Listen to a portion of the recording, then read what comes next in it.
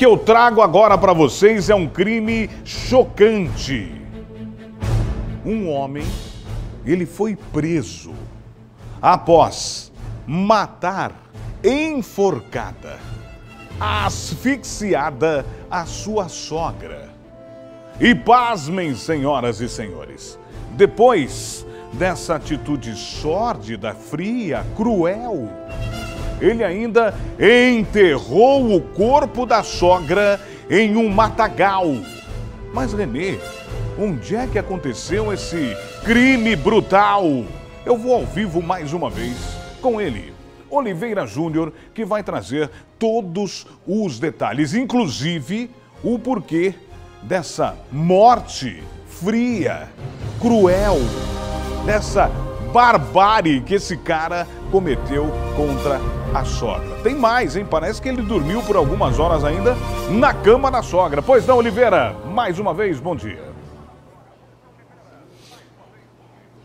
Pois é, René, essa é a história que chegou até nós aqui, esse crime que aconteceu no distrito do município de Lambari do Oeste. O convivente, o marido desta mulher, é, percebeu o desaparecimento dela, fazia 24 horas que ela não dava as caras em casa e ele foi, lógico, denunciar a polícia.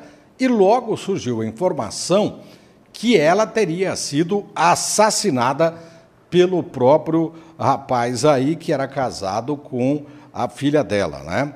E aí a polícia saiu em perseguição, chegou na residência dele, ele não estava, foi no seu local de trabalho, que é uma usina, também ele não estava trabalhando há 24 horas, então a polícia foi informada que o suspeito não foi trabalhar, estava desaparecido.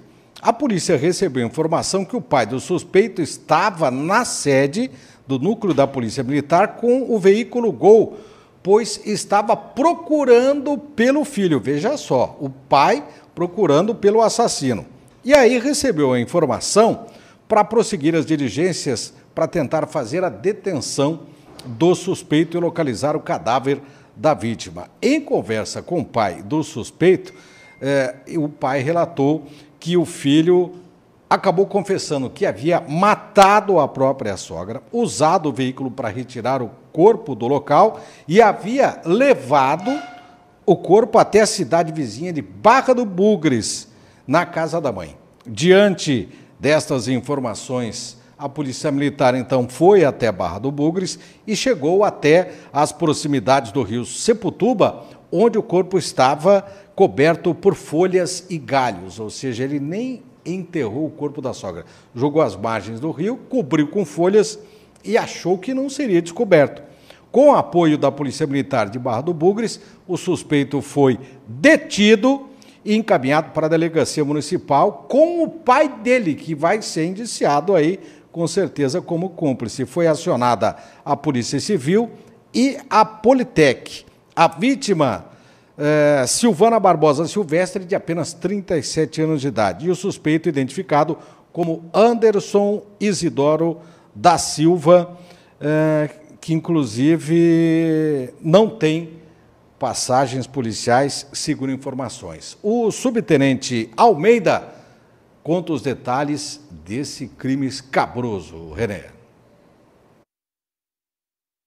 A guarnição PM de Lambari do Oeste recebeu informação de que havia uma pessoa desaparecida naquele município. Diante desse contexto, começamos as diligências, onde recebemos informações de que o principal suspeito do, do desaparecimento da vítima tratava do genro da mesma. E recebemos informações ainda que ele estaria no município de Barra do Bugre. Diante desse contexto, nós acionamos a guarnição da 12ª Companhia Independente de Barra do Bugre e que prontamente nos apoiou nessa operação. A guarnição de Lambari deslocou até o município aqui de Barra do Bugre e durante a operação obtivemos êxito na localização da, do principal suspeito, que após a sua detenção confirmou que na noite de ontem, por volta de 23 horas, teria assassinado a sua ex-sogra, estrangulada, e após o assassinato deitou em sua cama, dormiu. Ao acordar, resolveu ocultar o cadáver, abandonando o corpo nas margens da rodovia 247, que dá acesso aos municípios de Barra do Bugre e Lambari do Oeste. Após a detenção do suspeito, fizemos a sua apresentação na delegacia de polícia civil do Bugre para que tome as medidas cabíveis. Pois é, confirmando então, René, a vítima, a sogra que foi assassinada, Silvana Barbosa Silvestre, de apenas 37 anos de idade, e o, o principal suspeito, já réu, confesso, a essa altura, preso o Anderson Isidoro da Silva. Que coisa, hein, René? Voltamos com você. Obrigado, Oliveira, pela sua informação e mais uma vez eu volto a dizer aqui no Cadeia. Quando a cachaça entra, muitas das vezes o que acontece? A verdade sai. E aí, quando a verdade sai, o que, que acontece? A discussão.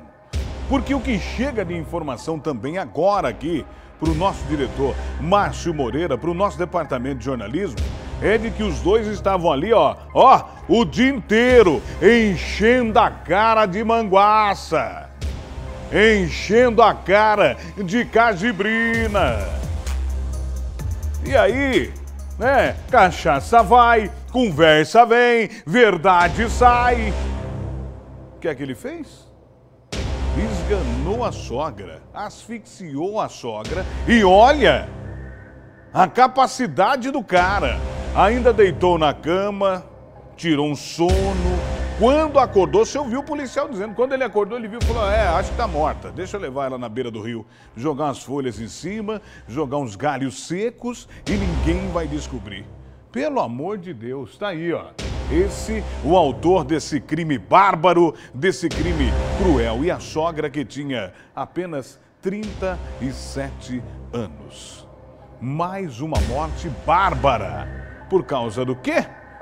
É, muitas das vezes, né, a gente diz aqui, da manguaça, da cachaça.